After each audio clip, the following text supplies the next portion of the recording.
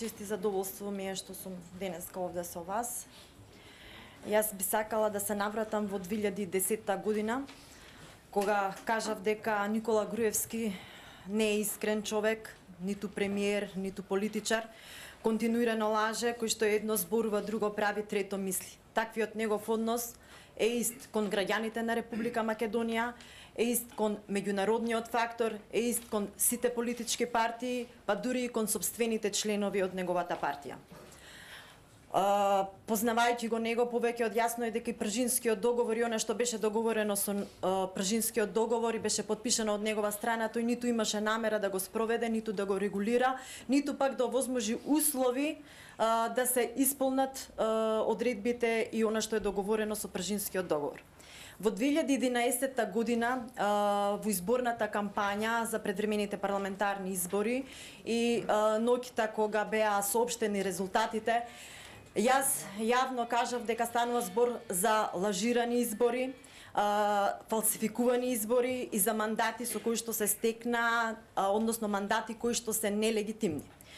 За жал, тогаш јас а, ниту бе, мојата изјава ниту беше анализирана, ниту пак некој може би ја зема како сериозна, од причина што дел од политичките партии веќе има загарантирани пратенички места во Собранието на Република Македонија,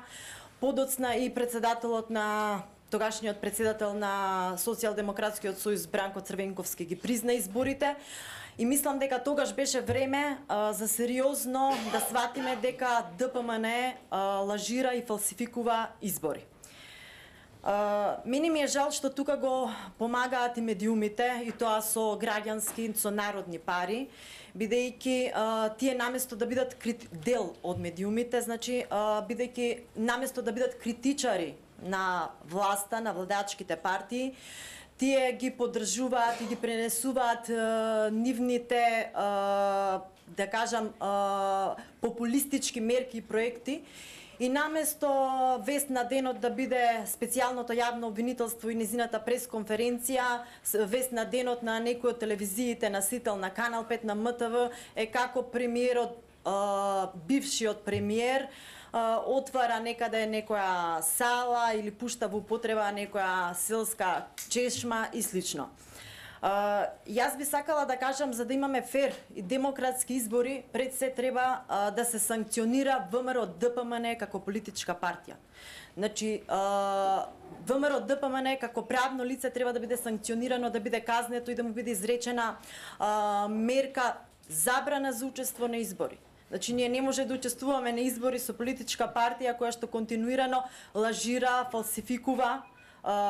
избори и се стекнува со нелегитимни мандати, па како резултат на тие нелегитимни пратенички мандати се креираат закони во нивна полза, а, из предлог измени на закони, а, одлуки на уставен суд кои што сакаат да го заштитат а, криминалот на политичките партии на власт, криминалот на е, изборниот криминал на партиите кои што владеат сиве овие години и предонесуваат Македонија да се наоѓа во тешка политичка и економска криза. Јас би сакала да кажам дека максимално треба да биде поддржано специјалното јавно обвинителство, Советот на јавни обвинители, јавните обвинители имаат немаат односно морал и кредибилитет да наоѓаат мани на специјалното јавно обвинителство. Доколку тие работеа согласно законот, беа со честни намери, не беа послушници на оваа владеачка гарнитура, ние немаше да имаме потреба од формирање на специјално јавно обвинителство. Предпоставувам треба да прекинам бидејќи веќе ме опомена да значи сметам дека се уште не се исполнети условите за фери демократски избори а, но не би сакала да се одложат од причина што а, не би сакала се уште ВМРО ДПМН да биде на власт, да креира поголема а, криза како политичка, така и економска. И би била а, најсреќна кога изборите би биле час поскоро, но кога би биле со исполнети услови за фери демократски избори, злосторниците да си ја сносат а, одговорноста, да бидат санкционирани и казнети, а Македонија и македонските граѓани да продолжат да живеат, односно да почнат за жал до сега не живеа, да почнат да живеат во духот на слободата, на демократијата, а, и на убавите моменти кои што треба да ги почувствуваат во оваа држава. Накратко тоа би било бидејќи времето е ограничено, тоа е она што јас сакам да го кажам. Инаку ние како политичка партија и верувам дека и сите опозицијски политички партии се подготвени за избори и се убедени во победа кога би постоеле услови за фер и демократски избори. Благодарам.